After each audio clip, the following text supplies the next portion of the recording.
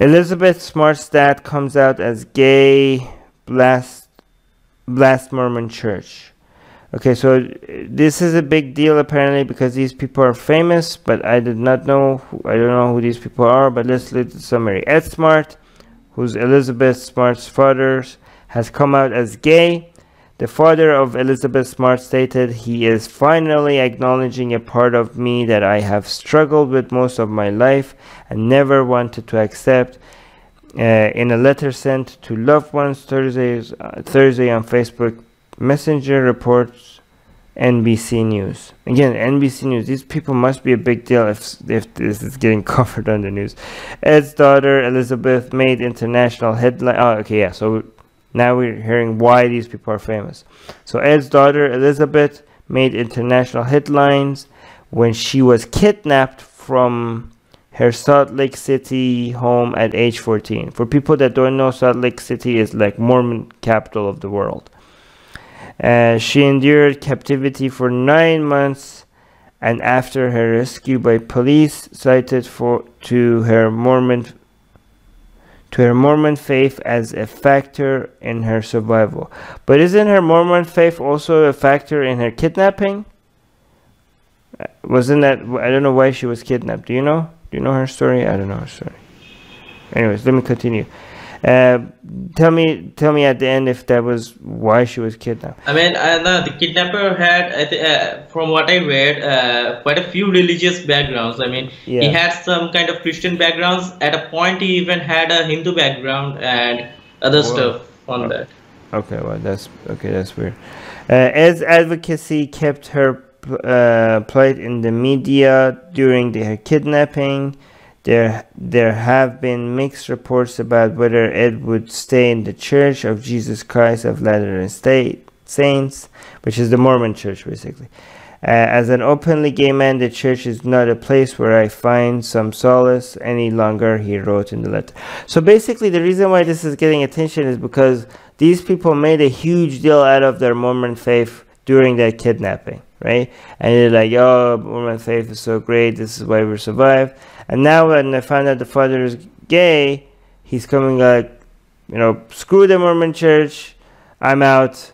These people are intolerant, which is which is kind of like not like people might say. Uh, I mean, it's fair to say like good good job, good for you to, for calling out the Mormon church out for its anti-gay bigotry and intolerance and calling it as you see, you know, calling bullshit on what they're doing, but I also wonder, like, wait, so if you weren't gay, like, it, ha- it had to personally affect you for you to realize that this is wrong? Like, would you have noticed, like, would you have noticed that this is an intolerant ch- church of gay people if you were, if you were not gay?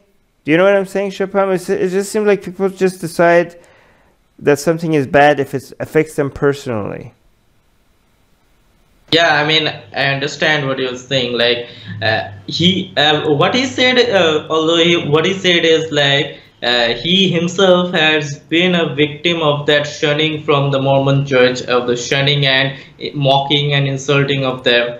But he has stayed quiet for all these years and now finally decided to come out yeah not sure but uh, i mean so he has been like suffering for years if what he said is true, like he has been suffering for years. Right. So, uh, this is this is probably a big deal in the Mormon community because I guess these two people are really high profile people. So I guess this is why it's shaking the Muslim in the not Muslim the Mormon world right now. This is why. For by the way, this is their picture. I think the mother, the daughter, and the father. Right? Yeah, I guess that's them. Yeah. Uh, also, what he said is like that he will like to stay in the church unless the church wants him out.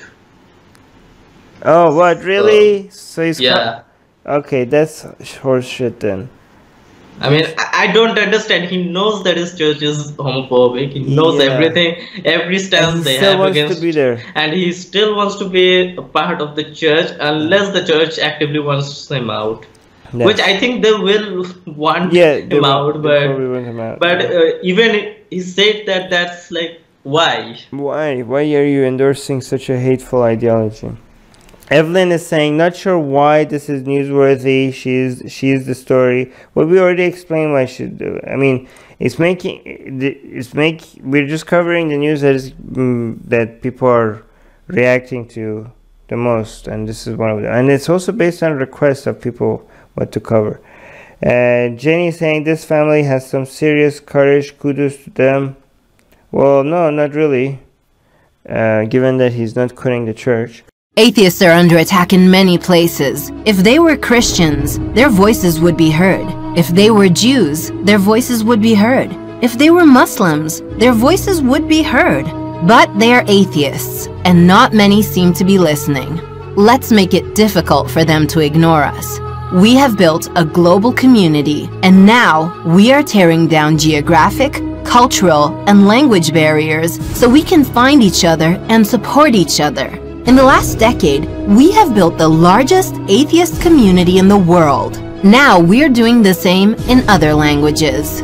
With your help, we have started Atheist Republic in Persian and Arabic. انضميت مؤخرا لأسرة Atheist Republic وحيصير عندي بودكاست باللغة العربية As we grow, we can dedicate more time, staff, and resources to start doing the same in Spanish, Portuguese, Malay, Bengali, Urdu, Hindi, and other languages. We are providing community, support, informative content, and amplifying the voices of those who need protection, especially in countries where people feel isolated simply for their lack of belief. We want to be there for them, and we are only getting started. Help us get there. Check in the description for ways you can support our projects.